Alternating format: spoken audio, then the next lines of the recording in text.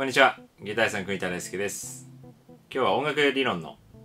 えー、レッスンなんですけれどもアコギを持って今日はやりますけれども、えー、今日はですね J-POP の王道コード進行3選メジャーキー編ということでお送りしたいと思います、えー、僕が思う J-POP の美味しいコード進行ヒット曲、まあヒット曲、ヒット曲の多くに見られる美味しいコード進行を3つ取り上げたいなと思いまして、えー、今日は動画を作ってみました。そしてどうして、えー、このような動画を作ろうかなと思った理由を最初にね、話しておきたいんですけれども、よくですね、生徒さんとかに、え先生どうして曲のコード進行そんなにすぐわかるんですか？ってよく聞かれるんですね。まあ大体僕は、まあ、あのテレビから流れてくる音楽とかラジオとかが流れてくるポップスの音楽は大体1回聴けば、えー、大体コード進行は分かります。でたまにそれで驚かれたりもするんですけどもどうしてすぐそんなにねあの耳コピができるんですかってよく聞かれるんですね。でそれは僕が絶対音感があるからとかすごく音感がいいとかそういうことでは全然なくて例えばそのね音楽聴かされた時にギターがなければ僕は何もわからないです。どれ何の音が鳴ってるかとかっていうのは。ただコード進行が聞こえます。でそれはなぜかっていうとたくさんのパターンを知ってるからなんですね僕が。いろんなたくさんの前例を知ってる。たくさん曲をアナライズしてよくあるコード進行まあ今日はヒット曲って言いましたけどもまあヒット曲人気のある曲の、えー、使われよく使われているコード進行のパターンをたくさん知ってるんですね。でたくさん知ってるからそれに当てはまったパターンを聞くとああれだ。ああのパターンだ。ああのパターンだっていうふうにすぐこう分かるんです。だからあとはギターがあればキーが分かればどんどんコード進行があの推測できるというか分かってくるんですね。なのでよく生徒さんに必ず言うことはそれたくさんパターンを知る知ってくださいと。それはいろんなねあの全てのことにあの言えるんですけれども今は今日はポップスですけれどもあのなのでコピーっていうのは大事なんですけどで今日こういう企画をやりたかった理由はそれなんですけれどもなのでたくさんねあの王道を知るっていうのはすごい大事ですので今日はやってみたいと思います。なのでメジャーキーの王道パターンというかヒットパターンヒットコード進行パターンをせ、えーえー、今日はね紹介していきたいんですけどじゃあ第1弾ですね今日はね。じゃあ、えー、1段目。これはイエスタデーパターンですね。勝手にまたイエスタデーパターンとか名付けてますけども、イエスタデーっていうのは、これは J-POP じゃないですね。イエスタデーご存知の方も多いと思いますけども、ビートルズの曲ですね。イエスタデー。えー、ビートルズの有名な曲でこんな曲があるんですけども、F、b マイナー、ラララララ A7、ラララララ d マイナーと。で今日は1曲ね、通してあの全部1曲のコード進行でいっちゃうとすごく長くなってしまいますので、すごく短く、え、ー、と、ポイントでいきます。今日は4、えっ、ー、と、この最初のここだけ。F、E マイナー、A7、D マイナー。ここでいきましょう、まずは。はい。これは特徴的なコード進行ですね。これは、キーが F です。キーが F で、はい。で、E マイナー、A7、D マイナーと。これはどうなってるかと言いますと、1から始まりまして、キーが F ですからね。で、この e マイナー A7 って何かっていうと、これは d マイナーが6マイナーなんですけども F のキーでね。これに、これに対する2-5です。セカンダリードミナントっていうのになってるんですけど A7 が、この A7 がね。2-5 of 6マイナーっていうね。2、5、e マイナーと A7 は d マイナーから見た2-5これはジャズとかではよくジャズの音楽でよく使われるセカンダリードミナントですけどもこれはポップスでもね効果的に使われてますね F キーで F キーでね e マイナーも A7 も本来ないですよね F の、えー、ダイアトニックっていうのは F もしくは F メジャー7そして g マイナー g マイナー7で a マイナーもしくは a マイナー7で B フラットメジャー B フラットメジャー7 C もしくは C7 そして、えー、d マイナー d マイナー7どっちかね。3和音か4和音かの違いですね。で、えー、あ e マイナー7フラット5か e ディミニッシュですね。ディミニッシュ7じゃないですよ。ディミニッシュトライアドね。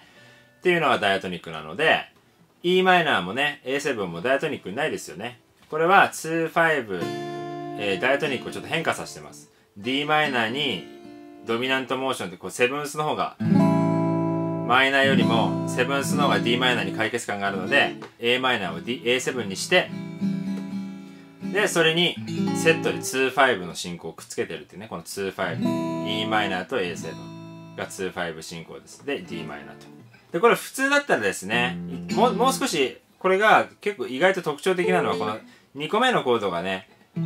マイナー7フラット5だと F のダイアトニックなのでもう少しダイアトニックで、えーサウンドしてもう少しインサイドに聞こえると思うんですね。Yesterday Oh my trouble seems so far away こっちはなんか普通に聞こえると思うんですけどマイナー7フラット5の方が E マイナー7フラット5それをあえて E マイナー7にしてるのがおしゃれですね。はい。こうちょっと外れて聞こえますね実は。E マイナー7がねラララ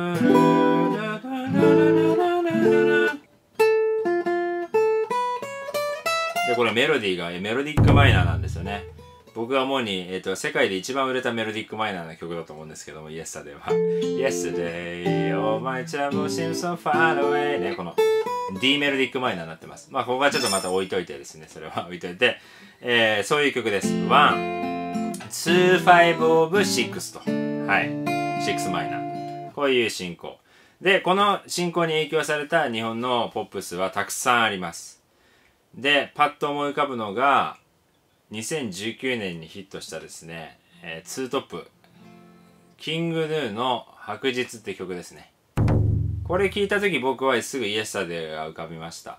なので白日のコード進行も僕はすぐね一回聞初めて聞いた時にやっぱすぐ分かりました。それは多くのミュージシャンがそうだと思います。あイエスタデーのパターンだと。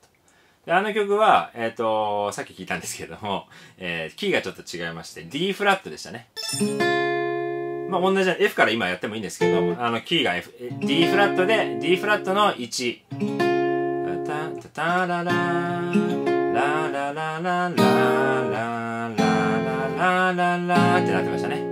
はい、これがララララ D フラットの1。ラララララ2、5 of ラララララララララララララララ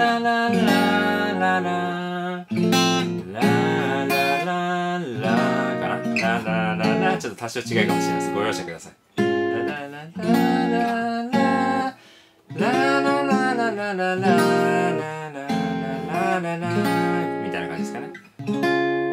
ラットから始まってはい C マイナーで F7 で B フラットマイナー。ほらこれ同じですよねさっきのイエスあると。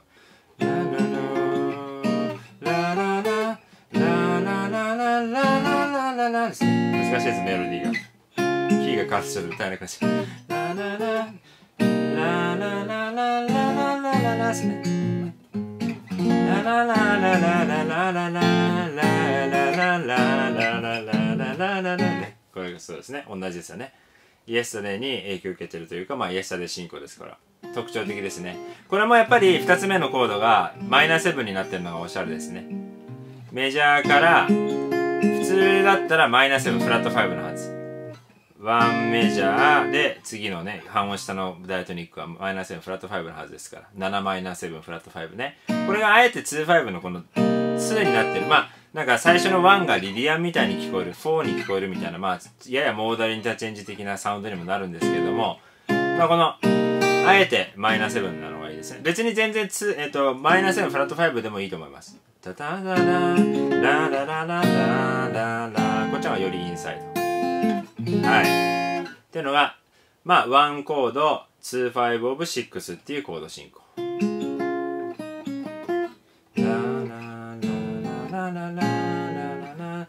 今僕もやって思ったんですけどやっぱりあのこのバンドもねジャジャジーなバンドだと思うのでなんかあれですよね。あの4からこの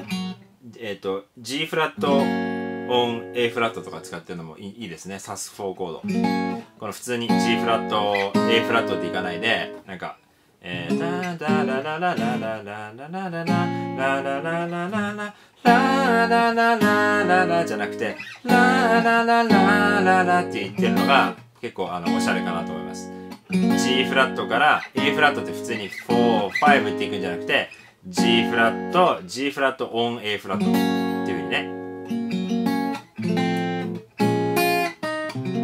25はマイナーなのかなちょちょっとあのしっかり調べないとわかんないですけどもまあ大体こんな感じっていうね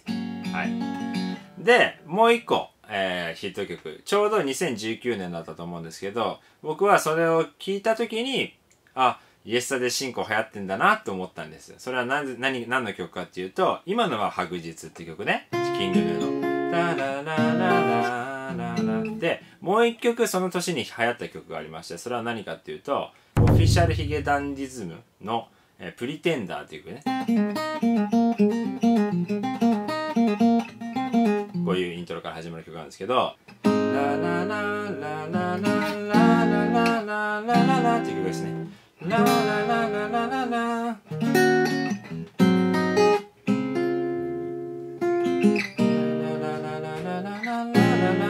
まあみたいな曲なんですけど最初のこの A フラットから始まる。A フラットから始まってで今度は A フラットで今度は g マイナー7フラット5で C7 と。で A マイナーあ F マイナー7マイナー F マイナー7どっちかな？どっちかに行くとこれやっぱり1 2、5 of 6っていうね、同じですね。まあ、今度は、これは、えっ、ー、と、スで5オブ6の2がマイナス7フラット5になってるかなと思います。うん。おしゃれなあのマイナス7よりも少しインサイドのマイナス7フラット5。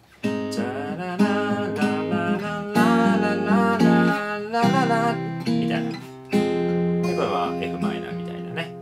で、これ多分、で、えっと、少しこの曲のポイントは、えー、2-5の、えっと、5の時にオンコードになってるかな。えっ、と C 音 E になってると思いますね。こ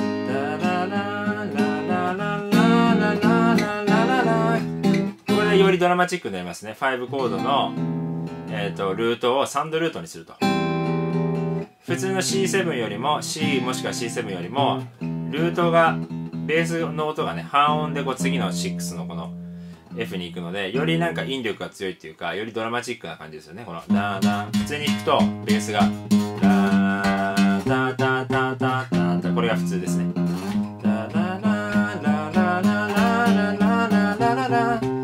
じゃなくてってなってるはずですはいこれ C 音 E E ディミニッシュまあどっちでもいいんですけどね C on E か E ディミニッシュどっちもいいですが、まあ、C 音 E っぽくなってで F マイナこれもイエスタですね。というわけで。この日本の代表するヒット曲「えー、白日も」えー、プリテンダーもですね同じイエスタデーのこの進行ですよね。1から下がって125 of 6で6いってっていうねこの特徴的な進行ですね、まあ、だからこういうふうに、えー、いろんなパターンを知ってるとですね何かこう曲を聴いた時にあああのパターンだああのパターンだってなると耳コピーも速くなりますしどんどんいろんなものにつながっていくので、いろんな前例を知ってほしいかなと。いろんなパターンを知るのをおすすめしてます。はいというわけで今日はですね、えー、メジャーキーの、えー、ポップスの J-POP のヒット曲進行第1弾ということでメジャーキーの第1弾はイエスタデー進行ですよね。ね。1から2、5で6に行くと6マイナーに行くと、えー、この進行の曲をどこかで耳にしたらですねああの進行だっていうふうに反応できるように、えー、ぜひ覚えていただけるといいかなと思います。今日の、えー、シリーズはですね今後も続けていきたいなと思ってますので、えー、お楽しみにしていてください。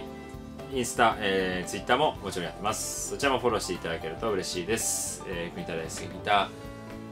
チャンネル、えー、YouTube チャンネルぜひ、えー、チャンネル登録して新しい動画をどんどんチェックしていっていただけると嬉しいです。今日はありがとうございました。